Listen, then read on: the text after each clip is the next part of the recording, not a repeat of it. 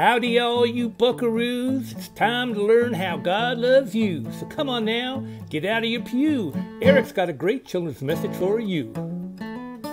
Boy, howdy. Good morning. How are we doing? Good. So it's Transfiguration Sunday, which is, means we're talking a little bit about light. So I'm going to need a volunteer to turn this on at an appropriate time. You want to? There you go. Oh, we got more coming. Okay, so turn it on for me. That works. right? And now turn it off. Very good. That's your job. We'll do that later. Very good. So we're learning about a special time when Jesus took some disciples away from him up to a mountain. And it was three of the disciples. So their names?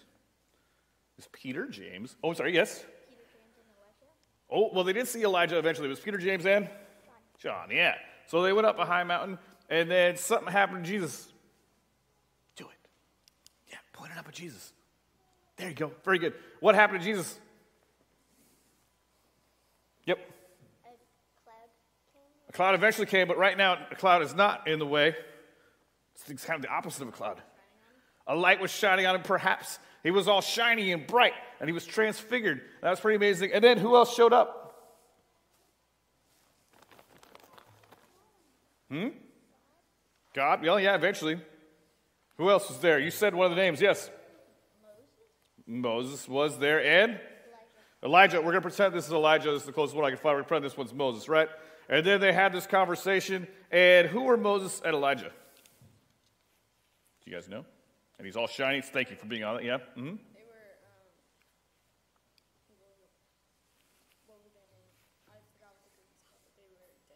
Okay, they were dead. Yes, so they should not have been around there. Might have thought they were ghosts. They were up in heaven. Instead of being in heaven, they were with Jesus. But what else do we know about Moses and about Elijah?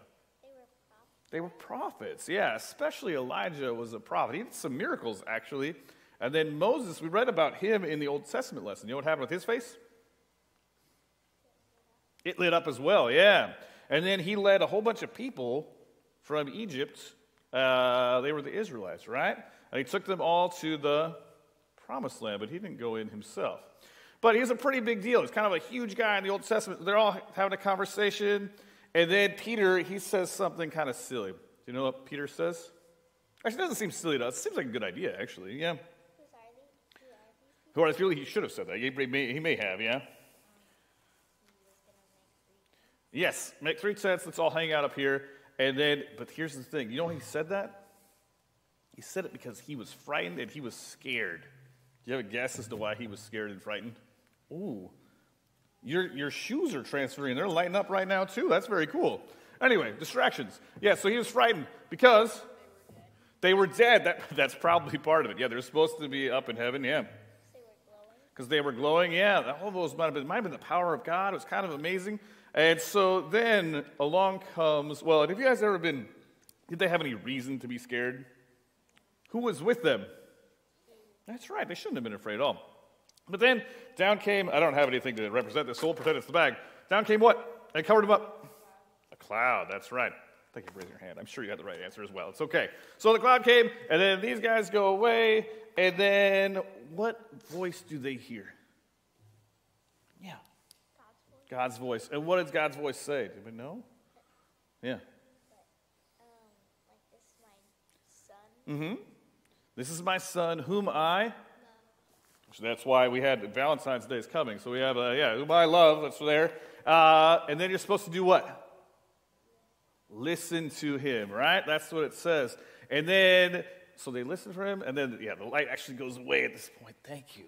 They're transfigured. And then Jesus says, Don't tell anybody until the Son of Man does what? He raises from the dead. Yeah. So, what is the point of the story? We, it's an interesting one. We, we talk about this one every year here at church. What, what do you think God wants us to learn from it? What are the disciples? Yeah. Um, to, um, yeah, most important thing is that we should listen to Jesus, right?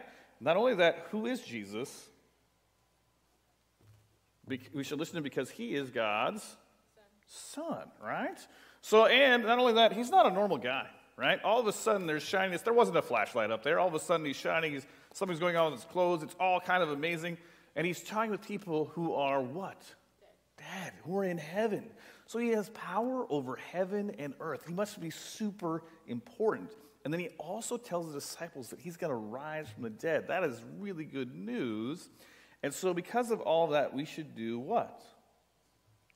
Listen, right? Yeah. So, we should listen for Jesus because of what amazing things he has done in the past and he's done for us today. And so there's a lot to, to take away from that. And amazingly, one of the things that he does is he shines, right? And so, do you guys ever have um, a time when maybe you were scared and it was over nothing in the dark and you turn on the lights and everything was okay? Yeah, like sometimes you think there's a monster and then it's a coat just sitting on your chair. You're like, where did that even come from? So, some of you, do you have a nightlight at home to help you see at dark and help you to sleep? Yeah. Well, in a sense, Jesus is sort of like that, except instead of just being a nightlight for a room, he's the light of the world. That's right. And this is what it says in John chapter 1. It talks about Jesus shining. It says, In him there was life. The life was the light of the people of the world. The light shines in the darkness, and the darkness has not overcome it. And so, Jesus is even better than a nightlight. He's there to take away our fear and to be with us through all things, even all bad things. Through our sins, He's there to forgive us, and even through death, Jesus is there for us. So no matter what, we can look to Him and have no fear. And we should listen to Him, right? So I fold our hands, bow our heads, and repeat after me. Dear God, Father, Son, Holy Spirit, thank you for your light. Shine in us and through us. Help us not to be afraid and to listen to you. A lot of people said, Oh man, thanks for coming forward, guys. Turn to your seats.